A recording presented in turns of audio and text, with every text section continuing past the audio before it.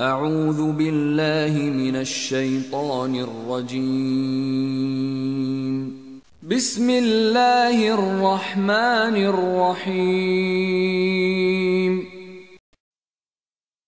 Dijadikan terasa indah dalam pandangan manusia, cinta terhadap apa yang diinginkan, berupa perempuan-perempuan, anak-anak, harta benda yang bertumpuk dalam bentuk emas dan perak, kuda pilihan, hewan ternak, dan sawah ladang. Itulah kesenangan hidup di dunia, dan di sisi Allah lah tempat kembali yang baik. Pada hari ini, dihalalkan bagimu segala yang baik-baik. Makanan sembelihan ahli kitab itu halal bagimu, dan makananmu halal bagi mereka. Dan dihalalkan bagimu menikahi perempuan-perempuan yang menjaga kehormatan di antara perempuan-perempuan yang beriman, dan perempuan-perempuan yang menjaga kehormatan di antara orang-orang yang diberi kitab sebelum kamu apabila kamu membayar mas kawin mereka untuk menikahinya, tidak dengan maksud bersina dan bukan untuk menjadikan perempuan piaraan. Barang siapa kafir setelah beriman, maka sungguh sia-sia amal mereka, dan di akhirat dia termasuk orang-orang yang rugi.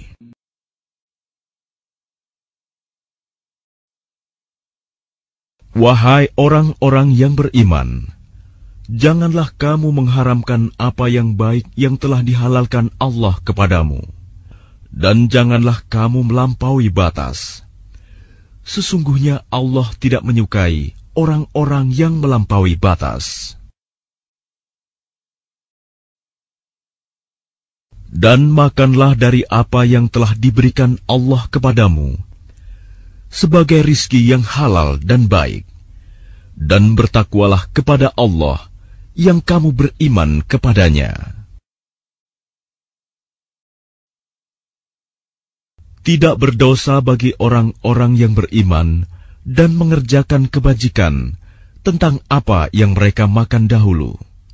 Apabila mereka bertakwa dan beriman, serta mengerjakan kebajikan, kemudian mereka tetap bertakwa dan beriman, Selanjutnya mereka tetap juga bertakwa dan berbuat kebajikan. Dan Allah menyukai orang-orang yang berbuat kebajikan. Katakanlah Muhammad, siapakah yang mengharamkan perhiasan dari Allah yang telah disediakan untuk hamba-hambanya dan rizki yang baik-baik? Katakanlah, semua itu untuk orang-orang yang beriman, dalam kehidupan dunia, dan khusus untuk mereka saja pada hari kiamat. Demikianlah kami menjelaskan ayat-ayat itu untuk orang-orang yang mengetahui,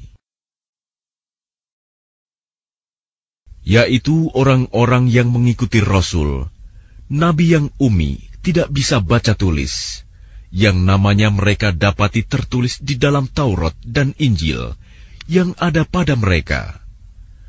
Yang menyuruh mereka berbuat yang ma'ruf dan mencegah dari yang mungkar, dan yang menghalalkan segala yang baik bagi mereka, dan mengharamkan segala yang buruk bagi mereka, dan membebaskan beban-beban dan belenggu-belenggu yang ada pada mereka.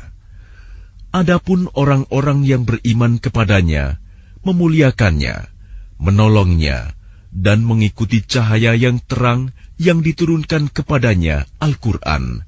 Mereka itulah orang-orang beruntung.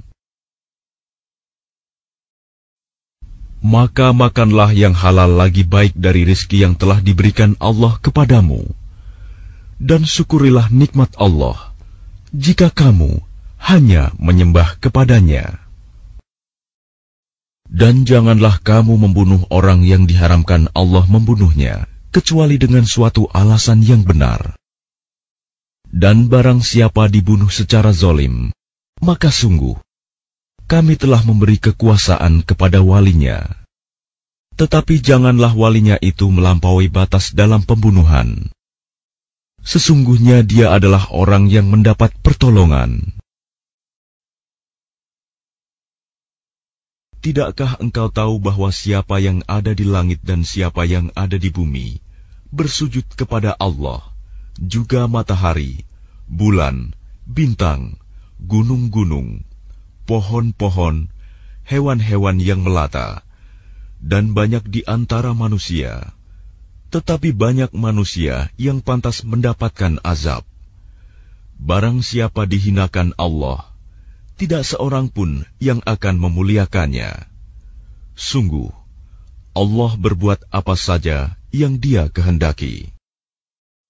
Dan di antara tanda-tanda kebesarannya, ialah penciptaan langit dan bumi, perbedaan bahasamu, dan warna kulitmu.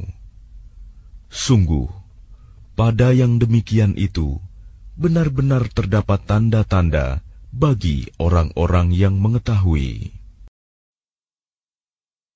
Tidakkah engkau melihat bahwa Allah menurunkan air dari langit?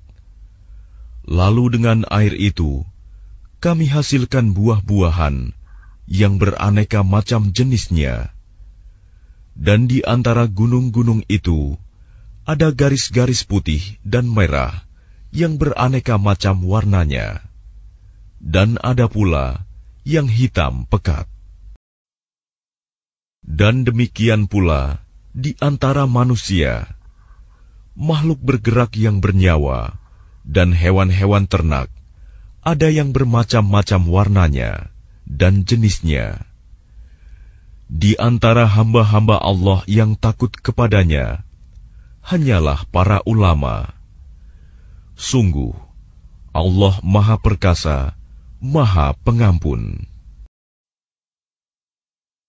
Allah lah yang menjadikan bumi untukmu sebagai tempat menetap dan langit sebagai atap, dan membentukmu, lalu memperindah rupamu, serta memberimu rizki dari yang baik-baik.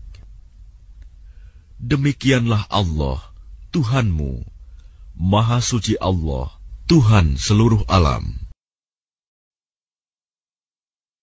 Dan sungguh, kepada Bani Israel telah kami berikan kitab Taurat, kekuasaan dan kenabian. Kami anugerahkan kepada mereka rizki yang baik, dan kami lebihkan mereka atas bangsa-bangsa pada masa itu. Kemudian jalannya dia mudahkan, dan kami akan memudahkan bagimu ke jalan kemudahan, mencapai kebahagiaan dunia dan akhirat, maka akan kami mudahkan baginya jalan menuju kemudahan, kebahagiaan.